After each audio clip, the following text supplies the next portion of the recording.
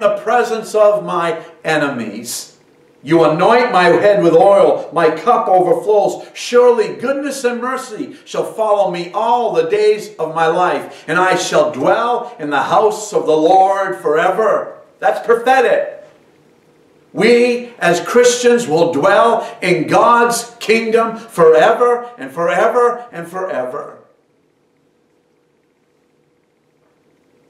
This first part of the verse in Hebrews 13 uh, that I've read here, 5 in 5c, verse 6. The, this part of the verse is a very familiar scripture that most Christians and even non-Christians can quote. But with every biblical promise given to the child of God, it is exactly that. It is for those whose faith is in Jesus Christ alone, the child of God.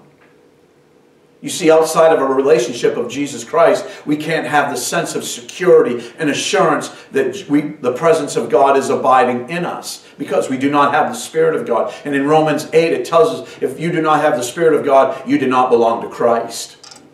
A child of God has the Holy Spirit dwelling in them. In them.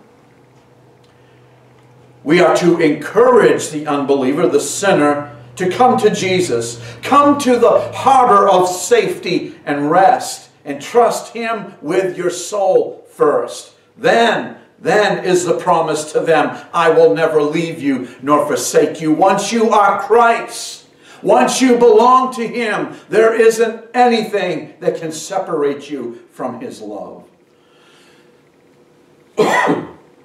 what a wonderful and comforting word from the Lord. And every child of God can embrace this truth. We are not forsaken. God has not left us alone to fend for ourselves. He would not do that. He knows our weaknesses and He is touched by our human weakness and frailty because He, being God, took on flesh and became man. Jesus understands all of us. He understands humanity. He understands the trials of the Christian. The first time we see these words, I will never leave you nor forsake you, is in Deuteronomy 31. Chapter 31.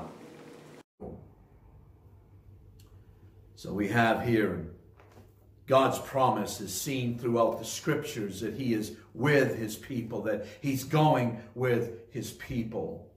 So I, I read again here in 13, 5c and 6, I will never leave you nor forsake you.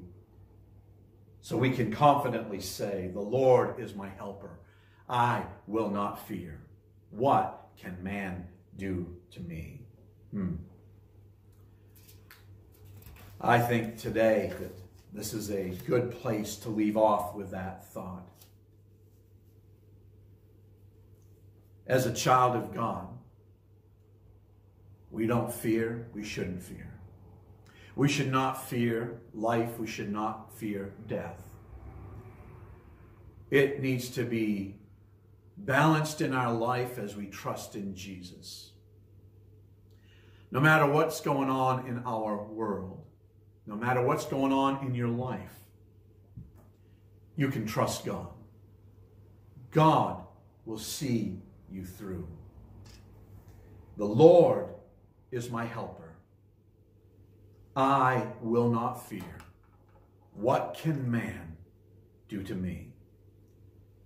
Father, thank you for this word.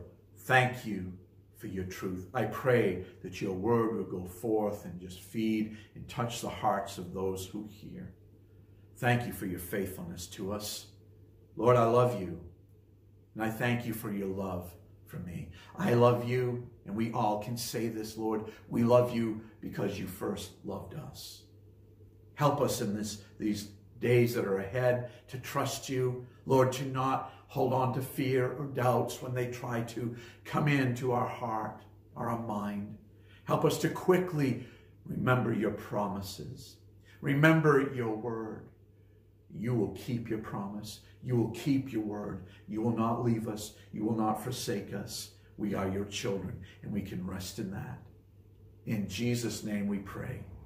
Amen and amen.